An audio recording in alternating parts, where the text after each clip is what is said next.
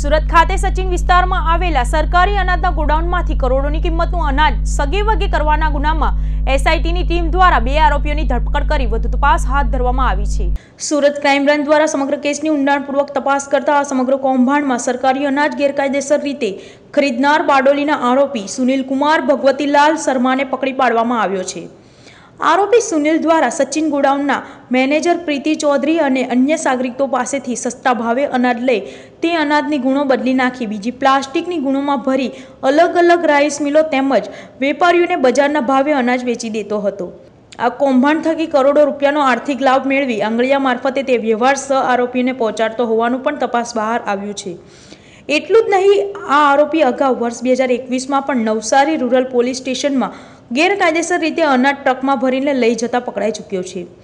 તે ઉપરાંત સચિન ખાતેના સરકારી ગોડાઉનમાં પોતાની પત્નીની જગ્યાએ કોમ્પ્યુટર ઓપરેટર તરીકે નોકરી કરી ગોડાઉનમાં સરકારી અનાજ સગે વગે કરવા સારું ખોટા ડિલિવરી ચલણો બનાવનાર આરોપી ધીરેનભાઈ વિઠ્ઠલભાઈ રાવળની પણ ધરપકડ કરી લેવામાં આવી હતી.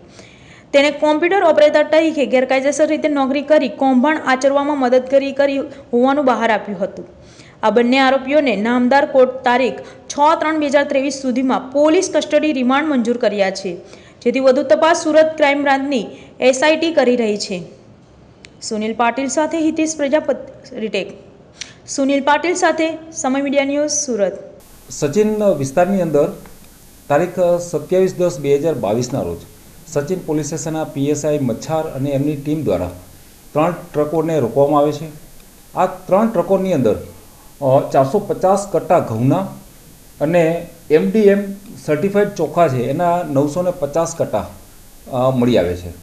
એની જે બિલ્ટી છે ડિલિવરી ચલણ છે, એ ચેક કરતાં આ લોકો અક્ષયપાત્ર ફાઉન્ડેશન મગો, ત્યાં ડિલિવરી કરવાના હતા, આવું જણાવવામાં આવે છે. જે ડિલિવરી ચલણની ખરાઈ કરતાં, આ ડિલિવરી ચલણ જ બોગસ હોવાનું પ્રાથમિક દ્રશ્યએ જણાઈ આવેલ. અને એને લઈને સચિન પોલીસ સ્ટેશનની અંદર આ તમામ જે આરોપીઓ છે, ત્રણ ટ્રકો, ઘઉંના કટ્ટા, તથા જે ચોખા છે એ મળી ટોટલ તેર કરોડ તેર લાખ સત્યાસી હજાર પાંચસોનો મુદ્દામાલ સીઝ કરવામાં આવે છે.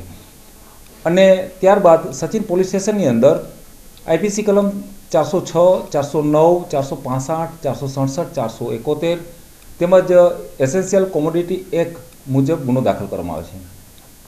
આ દરમિયાન જે સરકારી અનાજનું ગોડાઉન છે એ ગોડાઉનનું ઓડિટ કરવામાં આવે છે. આ ગોડાઉનના ઓડિટમાં એવું ધ્યાન ઉપર આવે છે કે જે સરકારી અનાજનો જથ્થો જે ગરીબોને સસ્તા ભાવે અને ફ્રી ઓફ કોસ્ટ આપવાનો હોય છે, આ જે જથ્થો પરવાન, પરવાનેદારને જ્યારે આપવાનો થતો હોય છે, એની અંદરથી દરેક ગુણમાંથી એક એક બબે કિલો અનાજ કાઢી લે છે અને ત્યાં સ્ટોક કરે છે. જ્યારે એની સામે જે માલ છે એ બિલ્ટી મુજબ, જે ડિલિવરી ચલણ મુજબ એ પરવાનેદારને નથી આપવામાં આવતો અને આમ ટોટલ એક કરોડ ને અઠ્યાવીસ લાખનો મુદ્દામાલ જે સસ્તા અનાજનો જથ્થો છે, આ ગોડાઉનની અંદર સ્પેરમાં મળે છે. એ પણ સચિન પોલીસ સ્ટેશનની અંદર અલગથી બીજો ગુનો દાખલ કરવામાં આવ્યો છે. આ બંને ગુનાની તપાસ સચિન પોલીસ સ્ટેશન કરતી હતી.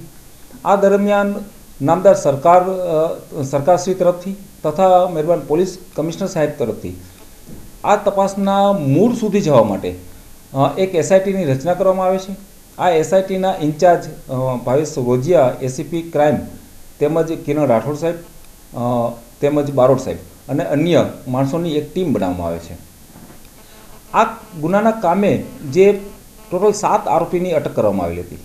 એની અંદર જે ગોડાઉન મેનેજર મેનેજર છે, પ્રીતિબેન ચૌધરી તથા એક છે રાકેશ ઠાકુર. આના મેન કાવતરેદાર હતા.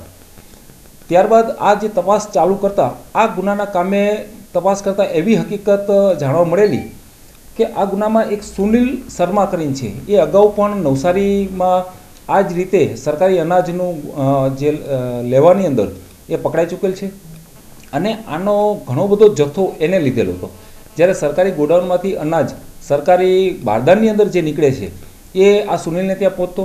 સુનિલ છે એનું પ્લાસ્ટિકની અલગ થેલીની અંદર એ ડમ્પિંગ કરાવી દેતો હતો, બીજી પ્લાસ્ટિક થેલીમાં થેલીમાં એનું પેકિંગ કરાવતો હતો. અને એ માર્કેટના ભાવે અન્ય વ્યક્તિને વેચતો હતો. આમ જે ખરીદનાર તરીકે પહેલેથી ગેરકાયદેસર રીતે એને માલ ખરીદ્યો હતો, એ સુનિલ શર્મા તથા એક બીજો ધીરેન છે, ધીરેન રાવળ.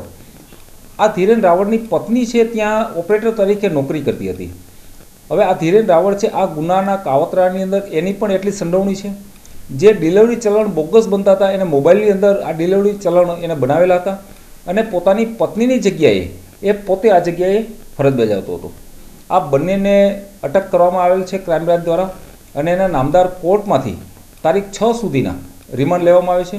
આ લોકોએ બીજા કોને કોને વેચ્યો છે, કઈ જગ્યાએ અને આખો આખી જે સ્કેમ છે, એની તપાસ કરવામાં આવશે.